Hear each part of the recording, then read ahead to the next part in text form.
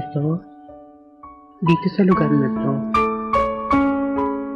dito ko muling natutunan kung paano maging estudyante ulit. Hindi ako produkto ng paaralang ito. Pero dito, naramdaman ko na nabuo ang buo kong pagkatao. Konting panahon na lang, ilisanin ko na din ang lugar na to. Dito sa mga sulok na to,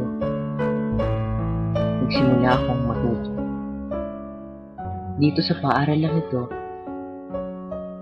nagsimula akong mangarap at magsikap. Dito, una akong natuto kung paano pahalagan ang bawat bagay buhay, mga taong nakapaligid sa akin. Ngayon, malapit ko na siyang iwan.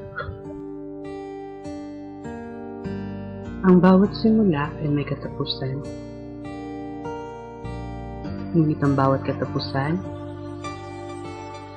ay mayroon ding patutunguhan. Kung pwede lang, dito na lang ako. Kung pwede lang, na huwag ko nang iwan ang lugar na to.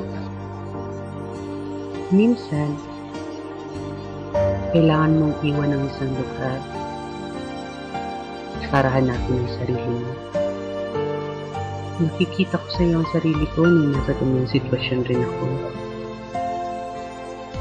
Malungkot ba pag natapos na sa high school? Ganun pa din ba kasaya? May ganito pa din ba pag graduate ka na? Malapit na ang prom. Huling prom ko na to. Mamimiss ko to. Pati na ang mga tao. Sa likod ng bawat ngiti ko. Bawat eksena sa bawat buhay ay may kahulugan. Tingnan mo mo ito. Ito ang mga larawan na sumasalamin sa kwento ng ating buhay. Buhay estudyante, buhay high school.